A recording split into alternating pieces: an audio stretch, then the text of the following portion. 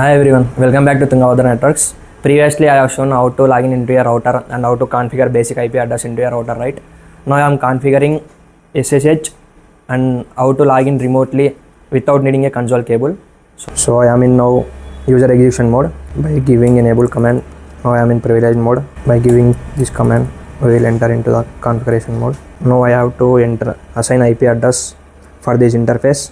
So I have already given the console cable connection from router to PC and this LAN cable is connected to the switch from this interface G0 slash 0. So I am assigning IP address in this interface G0 slash 0. You all very well know right how to assign IP address 68.120 I am taking. And the subnet mask is this. So the IP configuration is done. Now I will configure SSH. For that first we have to give the host name. I'm taking host name as router and after that we have to give IP domain name. Taking domain name as TB networks. Next to generate crypto key generate RSC. Okay, we have to assign host name without this router.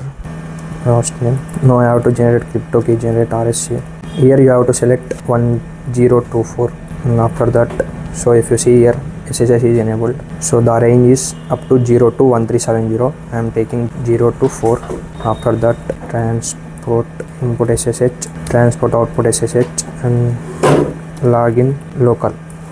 And exit. We have to give the username. Username TB networks. For that I am giving the password tbn at the rate 123 if we also give for enable if you want to enter into privilege mode we have to give for enable mode also. We, have, we will give password. For that we will give this command. Enable secret so 123 so SSH configurations are done. Now I am removing the console cable and we will try to log in remotely without using this console cable. So if you see I am removed the console cable. Here we have to select SSH and the port number of SSH is 22 here we have to give a IP address. What we have assigned for the router? 120 accept. So I successfully we log in remotely without needing a console cable right sir console cable guys. This is the username we are given right?